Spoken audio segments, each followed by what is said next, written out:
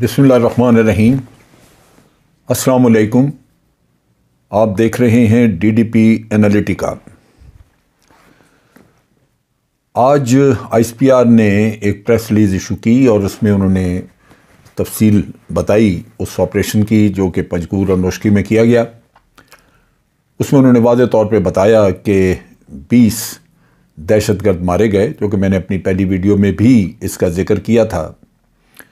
और उसके अलावा उन्होंने ये भी बताया कि उसमें हमारे नौजवान नौजवान, यानी आठ जवान और एक ऑफिसर भी शहीद हुए। काफ़ी बड़ा नुकसान है। इस तरह के हमले पहली दफ़ा हुए, जहाँ पहले धमाका करके एक शॉक इफ़ेक्ट क्रिएट किया गया और फिर उसके बाद स्टॉम करके एक रेड की शक्ल में जो भी सामने लोग आए उनको मार दिया गया। ये संगीन वाक़ात हैं और ये उस वक्त हुआ जबकि प्राइम मिनिस्टर चाइना के दौरे पर रवाना हो रहे थे और यही वो वक्त है जबकि हम चाहते थे कि इस दौरे के नतीजे में चाइना के साथ एक कॉन्फिडेंस बिल्ड हो और सी पैक के मामले में मज़ीद तेज़ी से काम बढ़ाया जाए। ये दो वाक़ जो थे मैं इनके ख़ास ख़ास नुकात अब कवर करना चाहता हूँ, जो कि पहली वीडियो में हमने कवर नहीं किए थे, जो मैं अखज़ कर चुका, कर सका हूँ इसमें, वो मैं सामने रखूँ। नोशकी का सी पैक से डायरेक्ट ताल्लुक़ नहीं है, फिर वहाँ क्यों हमला हुआ? पंजगूर, बिल्कुल, ये गवादर को थ्रेट करता है, ये जगह जो है, ये सिग्निफिकेंट है इंपॉर्टेंट है, और इसका इम्पेक्ट आ सकता है आ, हमारी सी पैक की तरफ़। सो लाजमन ये हमला वहाँ पे किया गया आ, इस पे सिक्योरिटी फोर्सेस पे।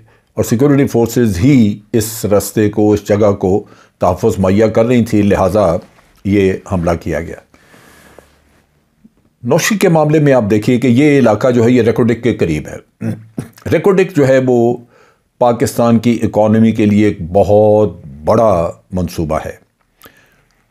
दुश्मन को लाजमन पता चला होगा कि रेकोडिक का मामला जो कि जिसमें छः बिलियन डॉलर का पाकिस्तान के ऊपर एक जुर्माना जो पाकिस्तान अदा ही नहीं कर सकता था और काम भी रुक गया।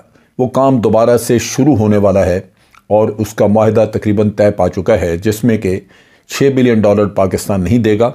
लेकिन जो मंसूबे का जो जो आमदन है मंसूबे की, वो पचास फ़ीसद पाकिस्तान लेगा और पचास फ़ीसद वो मिलेगी उस कंपनी को।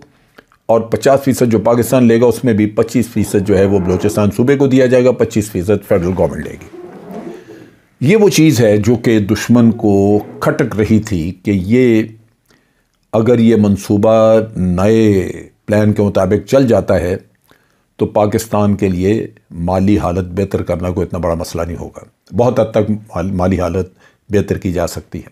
लिहाजा चूँकि दुश्मन के अज़ाइम यही हैं कि वो इकॉनमी को नुकसान पहुँचाए सी पैक भी तो एक इकॉनमी को बेहतर करने का मनसूबा है। तो वो हर वो चीज़ जो कि आपकी इकॉनमी में कंट्रीब्यूट कर सकती है उसको वो आ, उसकी तरफ़ दुश्मन जो है वो उससे खाइफ है या उसको तबाह करना चाहता है। सो पहली बात तो ये यहाँ पे हो गई। अब दूसरी चीज़ ये है कि इसमें कौन कौन से लोग बाहर या अंदर से मुलवस हैं? बाहर से आपने देखा कि भारत से और अफ़गानिस्तान से ये कॉल्स पकड़ी गई। लेकिन ये जो लोग जिन्होंने ये हमला किया, ख़ासतौर पंजूर, पंजगूर वाले या नौशकी तो फिर अफ़गानिस्तान के बाड़ों के कुछ करीब है, लेकिन ये जो पंजगूर के इलाका है, जब यहाँ पे टेररिस्ट मारे गए तो उनकी जेबों से जो खाने पीने की चीज़ें निकली, जो कुछ भी सामान बरामद हुआ, सारा ईरानी था। अब ये ईरानी होने का मतलब ये है कि ये सामान ईरान में मिलता तो हर जगह होगा, लेकिन ये दहशत गर्द जो है, वो ईरान में मौजूद थे। ईरानी हुकूमत की गो के इसमें मुलवस होने की बात मैं ओपनली नहीं करना चाहता, वो शवाहद या हुकूमत लेवल पे वो चीज़ें देखी जाएँगी। लेकिन एक चीज़ ज़रूर है कि भारत वहाँ पे मौजूद है ईरान की मर्ज़ी से। और ये ईरान की ज़िम्मेदारी है कि वो भारत को या कोई भी गैर मुल्की एजेंसी वहाँ पे हो, उसको ये इजाज़त ना दे या कम अज़ कम उसको ये चेक रखे उसके ऊपर कि वो पाकिस्तान के ख़िलाफ़ कोई ऐसा काम ना कर सके। लेकिन हमने देखा कि ईरान की तरफ़ से फ़िलहाल इस किस्म का कोई तावन नहीं मिला। ईरानी इंटेलिजेंस एजेंसीज़ के पहले भी लोग पकड़े गए। कराची में उनके कुछ कार्रवाइयाँ देखी गई। उज़ैर बलोच के मामले में भी कुछ चीज़ें सामने आईं।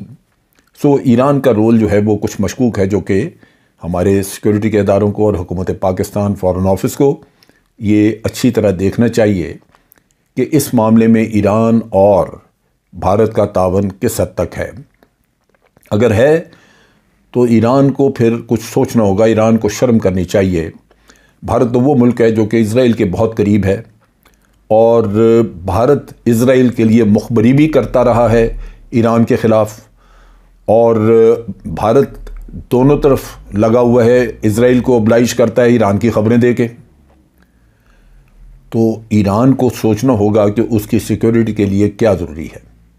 सो ये एक मसला है। दूसरी तरफ़ ये है कि तालिबान, अफ़गान तालिबान बिल्कुल ठीक है कि उनकी रिट कमज़ोर है, उनके लिए मसाइल हैं वहाँ पे, हम उनकी मदद करना चाहते हैं। लेकिन ये मसला इतना भी आसान नहीं कि वहाँ से जो जी चाहे पाकिस्तान की तरफ़ उठ के तो हमला करे या जो हमले हुए हैं जो जो नौशकी पे हमला हुआ है उसकी जो बातचीत हो रही थी अगर अफ़गानिस्तान से वो कॉल्स वगैरह ट्रैप हुई हैं तो ये तो दुरुस्त नहीं है। सो तालिबान को इस मामले में हमने इंटेलिजेंस फ्राहम करके उनकी मदद करनी है ताकि इन लोगों के बारे में आ, कुछ न कुछ एक्शन लिया जाए।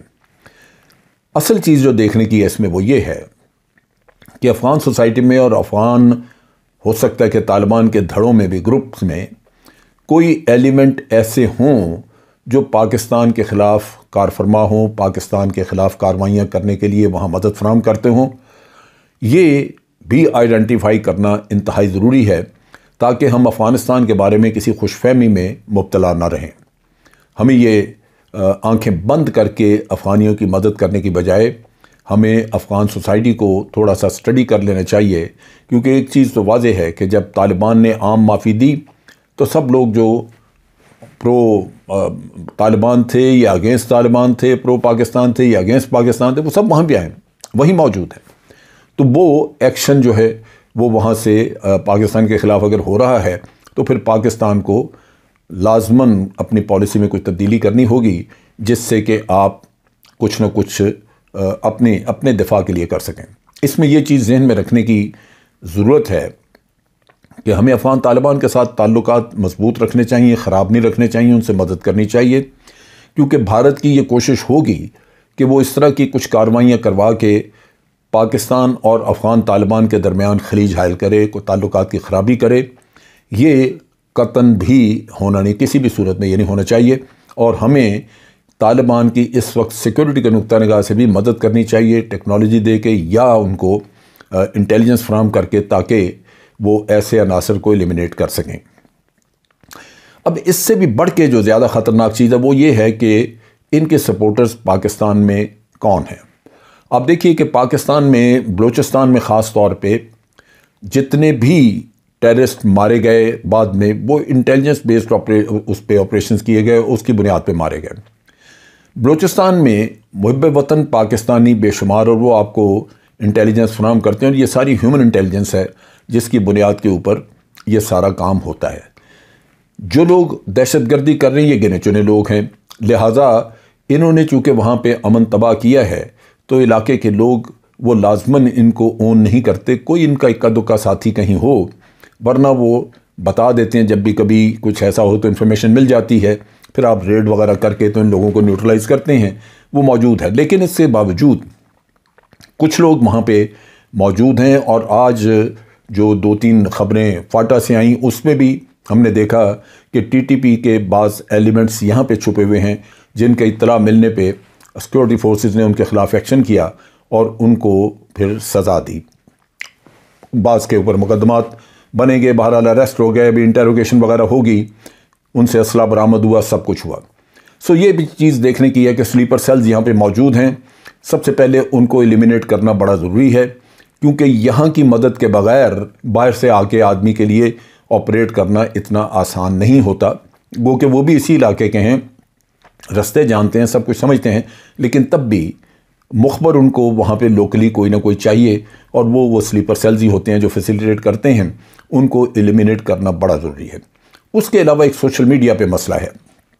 इस दौरान में दो तरफ़ से प्रोपेगंडा हुआ। एक तो भारत पूरा दिन उनके चैनल्स बकवास करते रहे और वो यही झूठ सच के वो मेजर जनरल का फला मार दिया। एक सौ बहत्तर लोग मारे गए, किसी ने कहा सौ मारे गए। पाकिस्तान ने इस मामले में कभी चीज़ छुपाई नहीं। और ये भी आपको पता है कि हम अपने शहीदों के जनाजे शान शौकत से उठाते हैं। पूरे एजाज़ के साथ, पूरे फ़ौजी एजाज़ के साथ। और ये कभी हुआ नहीं कि किसी भी शहीद का जनाजा जो है वो कोई खुफिया तौर पे जाके तो उसको दफन कर दिया जाए, वैसे नहीं हुआ कभी। ये हमारी शान के और शहीद की शान के ख़िलाफ़ है। लिहाजा अगर कोई यहाँ पे ऐसी शहादत होती है तो वो हमारे अखबारों की और इलेक्ट्रॉनिक मीडिया की जीनत बनती है। लिहाजा ये झूठा प्रोपागंडा इन्होंने वो मुँह काला किया अपना, जो भारत हमेशा करता है कि झूठ झूठ झूठ। इन्होंने सच बोलने की कसम खाई कि वो कभी नहीं बोलना हमने। क्योंकि मोदी साहब ने, इनके इनके अपने मिलिट्री कमांडर्स ने, उनका सियासी मकसद है कि अपने हिंदू मेजॉरिटी को बेवकूफ़ बनाना। पहले नफ़रत पैदा की, फिर उनको बेवकूफ़ बनाना। झूठ बोल बोल के। सो यहाँ पे ये दूसरा प्रोपागेंडा जो था, वो पाकिस्तान के अंदर सोशल मीडिया पे बाज़ एलिमेंट्स का था। उसमें एक ट्वीट जो मैंने देखी ईमान हाजिर मज़ारी, जो मोहतरमा शीरी मज़ारी की बेटी हैं। उन्होंने कोई तस्वीर देखी जिसमें कि एक दहशत गर्द के साथ, दहशत गर्द वो मारे गए हैं। तो साथ किसी सिपाही ने, जवान ने जिन्होंने फायरिंग करके मारा होगा, उसने वो खड़ा है पास और तस्वीर उतरी हुई है। वो तो इस तरह की तस्वीरें उतरती हैं जब जंग होती है और जंग में जो लोग मारे जाते हैं और मारने वाले अमूमन आसपास होते हैं, उनकी तस्वीरें आ जाती हैं उसमें। उसमें एक तरफ़ तो वही मलून, वो खबीस डॉन का वो आदमी जो कि वो जर्नलिस्ट जो मुलवस था डॉन लीक्स में, उसने ट्वीट शुरू उसने की कि ये गैर इंसानी है काम कि, आप एक एक गद्दार को मारा है और उसके साथ आप तस्वीर उतार रहे हैं। वो तस्वीर उतरी, आदमी खड़े होने की और उसके ऊपर फिर सोशल मीडिया पे ईमान हाज़र ने भी ये लिखा और डाला। ये वो मजमूम लोग हैं जिनकी मजम्मत की जानी चाहिए ताकि इनको अंदाज़ा हो कि उनकी ऐसी फजूलियात की वजह से जो गलतफहमियाँ अवाम में पैदा होती हैं, उनका रोक, उनको रोकना ज़रूरी है। सो मुल्क के अंदर ऐसा नासूर मौजूद है जो कि किसी न किसी तरह अपनी ही अफवाज को या अपने ही अवाम को, वो अपने ही मुल्क की सिक्योरिटी को दागदार करने की कोशिश करते हैं। ये पाकिस्तान के अवाम का मुहब वतन लोगों का फ़र्ज़ है कि वो ऐसे लोगों को बिल्कुल उन, उन, उनको लगाम डालें और जब तक वो इस मुल्क में रहते हैं कम अज़ कम उनको ज़रूरत नहीं होनी चाहिए कि ऐसी फजूल बातें करें। हर मौका हर वक्त हर जंग हर वाक़ उसमें कुछ न कुछ ऐसे सबक मौजूद होते हैं जो कि अफवाज को भी और आम आदमी को भी हुकूमत को सबको सीखने चाहिए उस पर अमल करना चाहिए। इसमें भी कई चीज़ें सामने आईं इन वाक़ात में जो कि बड़ी हद तक आइंदा के लिए नोटिस में आएँगी और उनके ऊपर अमल किया जाएगा। अफवाज की तरफ़ से भी, हुकूमत की तरफ़ से, लेकिन आवाम के लिए पैगाम यही है कि अपनी सफ़ों में छुपे हुए इस नासूर को उठा के बाहर मारें। ये नासूर जो हमारी सफ़ों में है, ये बिला वजह पल रहा है यहाँ पे। इन लोगों को लगाम देनी ज़रूरी है। इनको पता होना चाहिए कि पाकिस्तान के अवाम उनकी ये करतूतें पसंद नहीं करते और उनको अपने मुँह बंद रखना उनके लिए ज़्यादा बेहतर है। आज के लिए इतना ही। अफवाज पाकिस्तान जिंदाबाद पाकिस्तान पाइंदाबाद।